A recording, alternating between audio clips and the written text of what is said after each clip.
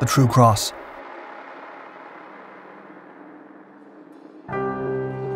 Between the years 1096 and 1291, eight major crusades took place, with Christians and Muslims waging fierce religious wars for control over a number of sacred sites. However, it was not just the sites that were prized by both sides, but also the ancient artifacts they sheltered. Among these treasured relics was the True Cross, a term denoting the wooden cross used to crucify Jesus Christ. The earliest Christians and apostles left no evidence that they hid or preserved the true cross following Jesus' crucifixion. Yet, historical legend recalls a woman named Helena, mother of Constantine I, venturing to the Holy Land in 326 on a quest for this revered relic. Her journey concluded with the discovery of what was believed to be the true cross. She erected the Church of the Holy Sepulchre on this site, within the city walls of Jerusalem. The true cross found sanctuary here, enduring centuries of religious and political turmoil. While Jerusalem was under Muslim control in 1009, the Fatimid Caliphate ordered the destruction of the Church of the Holy Sepulchre and any artifacts within. This act of desecration incensed Christian leaders in Europe, setting in motion the First Crusade. In the face of this threat, dedicated Christians in the city concealed parts of the true cross to ensure its preservation. The relic remained hidden until Arnulf Malecorne recovered it as soldiers stormed the city during the First Crusade. Thereafter, the true cross was sheltered within Christian controlled Jerusalem under the vigilant guard of knights and the formidable defense of cannons.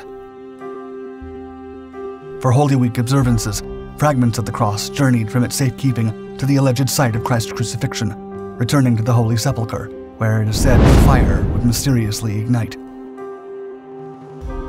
The relic, however, fell into the hands of the Muslim general Saladin during the Battle of Hattin in 1187 and subsequently vanished from historical records for a period. The Fourth Crusade saw the sacking of Constantinople in 1204, and the Crusaders found a section of the True Cross amongst the city's treasures. This section was divided into pieces and given to bishops and knights with many finding their way to various churches and monasteries. To this day, many fragments of wood all around the world are claimed to be of the true cross, but none have had their legitimacy confirmed. The Mandylion of Edessa.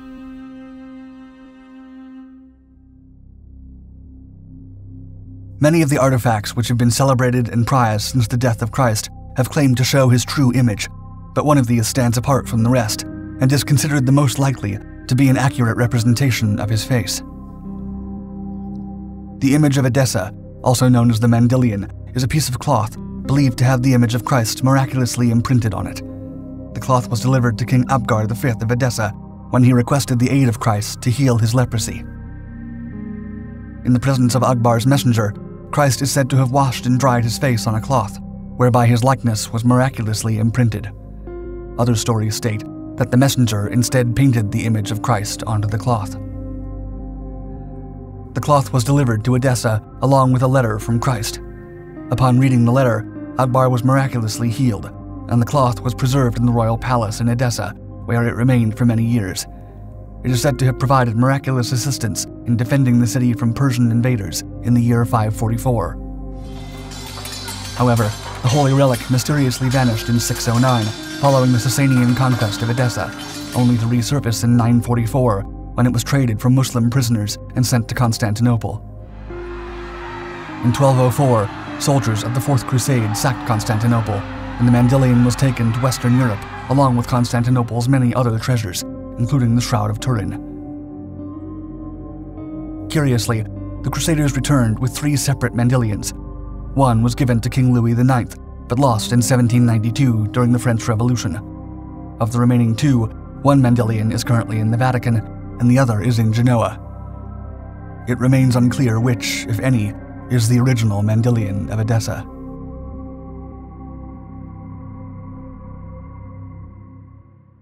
Crown of Thorns. The end of the Fourth Crusade was marked by the fall of Constantinople in 1204. As the Crusader armies poured into the city, looting was rampant, and a number of holy relics were seized. The venerable crown of thorns, however, was not among them. The crown of thorns is said to have been placed upon Christ's head during the events leading up to the crucifixion, one of many efforts made by his captors to cause him humiliation and physical pain. The history of this relic is incomplete, and it cannot always be accounted for, but it is known to have been moved to Constantinople in the 11th century or earlier. One translated description of it, made in 1201, described the crown of thorns as being, quote, displayed for veneration, still fresh and green and unwithered, since it had a share in immortality. The crown was also described as smooth and lovely due to the fact that its 75 thorns had been detached and sent to various rulers throughout Europe as gifts to curry favor. Just three years after this description was made, the Fourth Crusade brought chaos to Constantinople. Despite the violent sacking of the city, the crown of thorns remained protected in the Church of the Pharos, which the Crusaders spared. The year after the sacking of Constantinople, the crown of thorns was used by leaders of the Latin Empire as collateral to secure a large loan from a Venetian man in the city. The crown didn't leave the city until Emperor Baldwin II of Constantinople sent it to Louis IX, King of France, in order to secure yet another loan. This one, however, was not repaid, and the crown of thorns has remained in Paris ever since. Head of John the Baptist. Amongst the more gruesome artifacts interwoven with the events of the Crusades is the head of John the Baptist, a Judean preacher of great historical and religious importance. During the early first century, John the Baptist, a figure with growing religious influence, openly criticized Herod Antipas. Antipas, the ruler of Galilee and Perea under the Roman Empire, had divorced his first wife to marry his sister in law. John vocally opposed this act, a bold statement that ultimately led to his imprisonment and death sentence. Yet many proposed that Herod's motivation ran deeper than merely silencing a critic. They argued that John the Baptist, with his soaring popularity, was a potential threat to the Roman Empire's dominance, capable of inciting a rebellion. On Herod's birthday, he was so impressed with his daughter's dancing that he drunkenly promised her anything she desired, up to half of his kingdom.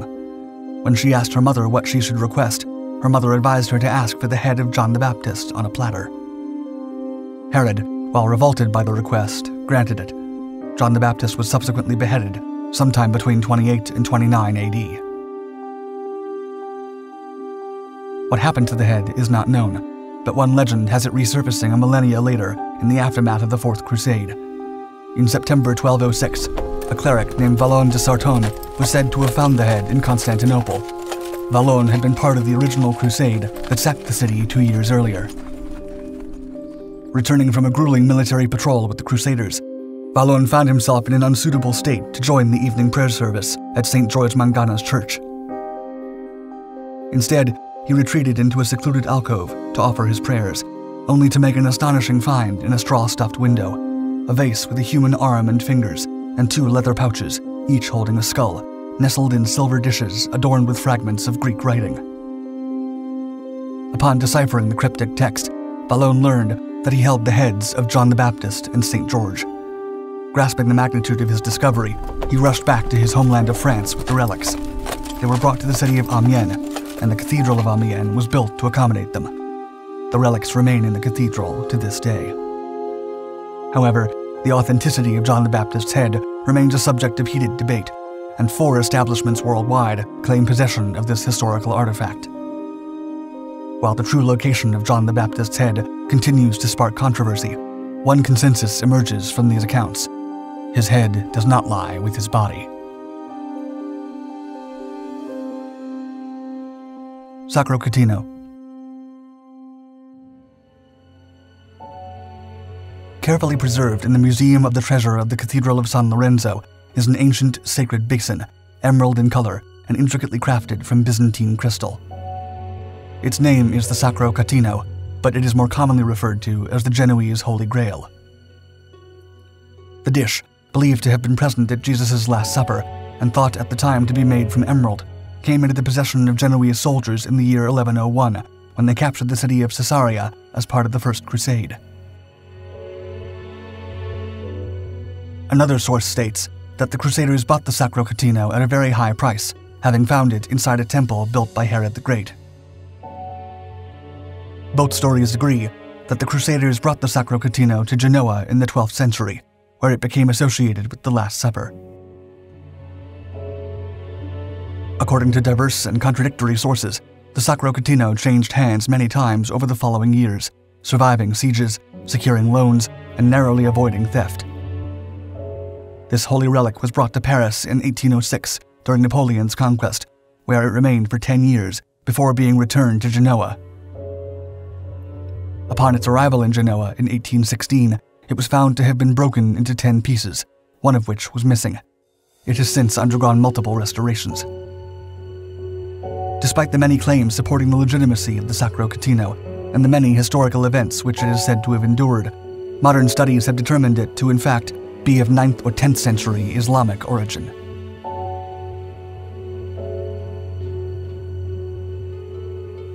Are you ready to unlock the secrets of the past?